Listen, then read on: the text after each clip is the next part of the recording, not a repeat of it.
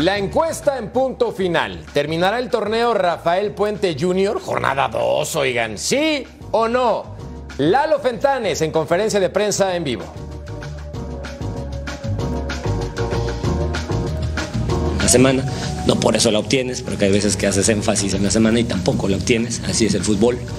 nunca planeas por cuántos vas a ganar, planeas para llegar. Un día caen, otro día no caen pues está claro que ni tan tan, ni muy muy, ¿no? Simplemente el equipo volvió a generar su propuesta, tuvo momentos buenos, tuvo momentos que sufrió, como es el fútbol, supo soportarlo y, después lo pudo clarificar.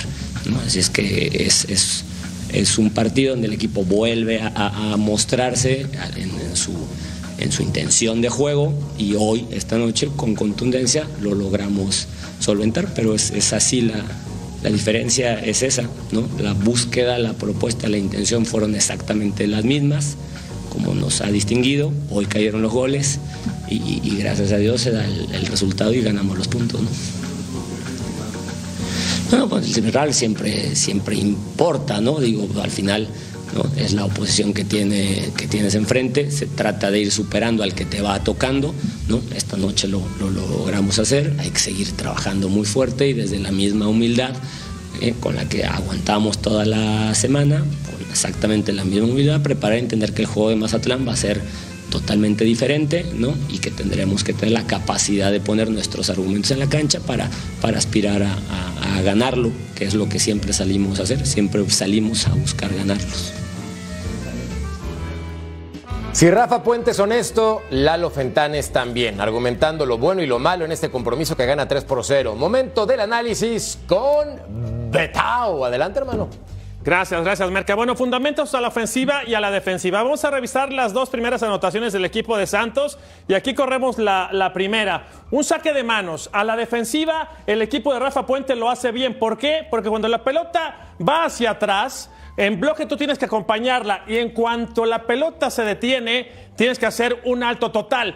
Pero en el alto total Tienes que buscar la marca, no puedes salir por salir sin distraerte. Y acá es evidente que hay cuatro defensores universitarios en línea, quiere decir que salieron bastante bien ordenados, pero no hay, no hay marcación en ataque. Se distraen, va a venir una peinada y acá este futbolista prácticamente va a llegar hasta línea de fondo que es preciado. Va a venir la pelota larga, la peinada va a ser de Campos, como corremos la acción, y ojo con Bruneta. Bruneta está en esta parte de la cancha. El que está por acá el futbolista universitario está distraído también. Y Bruneta lo que va a hacer es recorrer prácticamente 25 metros para ser el hombre importante a la hora de definir el centro.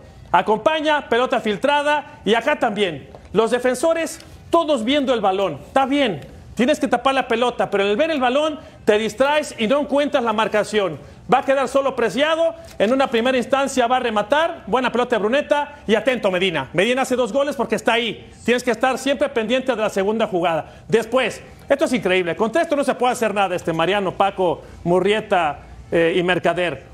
Llega Pumas, la fallan. Y de ahí, segundos después, viene el contragolpe. Benevendo, no te tires, no te barras, no te regales. Cuando tú te tiras, eres hombre muerto. Y en ser hombre muerto, el futbolista de Santos va a tener muchos metros para avanzar, cerca de 35 metros.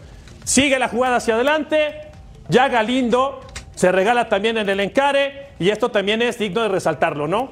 Hay cinco jugadores de Santos, cuatro, cinco, contra cuatro futbolistas de Pumas. Es decir, que a pesar de que la teoría nos tendría que decir, decir que debería haber superioridad del equipo universitario, no, es al revés, es Santos y nuevamente Medina, ¿no? Hay que estar ahí en todos los rebotes y de esta manera Santos superó, superó en cuanto a ser eficaz a la hora de presentarse en la portería.